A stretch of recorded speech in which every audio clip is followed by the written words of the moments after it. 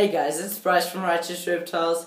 Today, I just wanted to ask you guys, what do you think I should name this little fella? Let's see if the camera will focus on him or her.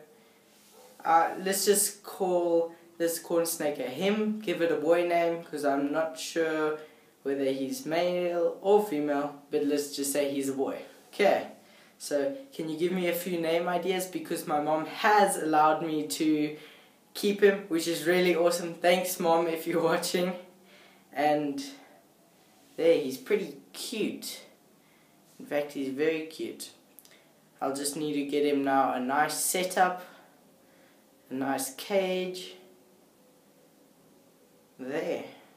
And guys, um, I just wanted to say I might not do videos for the next two weeks just because it's my birthday as well as my dad's birthday and my two uncles' birthdays in April, so it's pretty hectic. So and we are going on holiday, so I might may be able to um, show you a video while I'm at holiday, but otherwise, yeah.